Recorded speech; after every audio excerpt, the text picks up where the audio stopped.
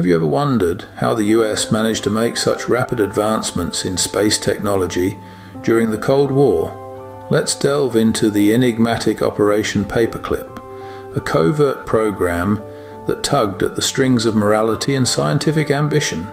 Following the end of the Second World War, the United States and its allies were in a mad dash to secure the scientific prowess of Germany.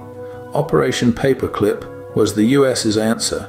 This secret program recruited German scientists, many of whom were former Nazis, to work on American soil. Among these recruits was Wernher von Braun, a former SS officer. Despite his dark past, von Braun played a pivotal role in developing the Saturn V rocket for NASA, a key instrument in the space race. The ethical implications of this operation are heavy and complex. So, Operation Paperclip, a necessary evil for scientific advancement, or a questionable operation that gave a new life to former Nazis?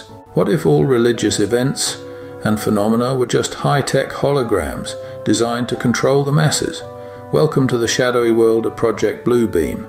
This is a theory that suggests NASA, of all organizations, is plotting to establish a new age religion with the Antichrist leading the march the method of choice, a technologically simulated second coming, using high-tech holography to stage spiritual visions and religious occurrences from the skies.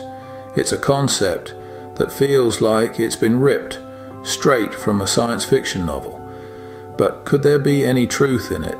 Some conspiracy theorists posit that there have already been tests of this technology, reports of strange lights and Inexplicable visions in the sky have been linked to potential test runs of Project Blue Beam. Of course, these are just theories, and there is no concrete evidence to support them. Still, they serve as a chilling reminder of the potential power of technology. Project Blue Beam, a chilling vision of technological manipulation, or just another sci fi fantasy? Can we truly trust the media, or are they just puppets? In the hands of higher powers. This brings us to Operation Mockingbird, an alleged CIA program designed to manipulate the media for propaganda purposes. Imagine a time, the mid 20th century, a period marked by the Cold War.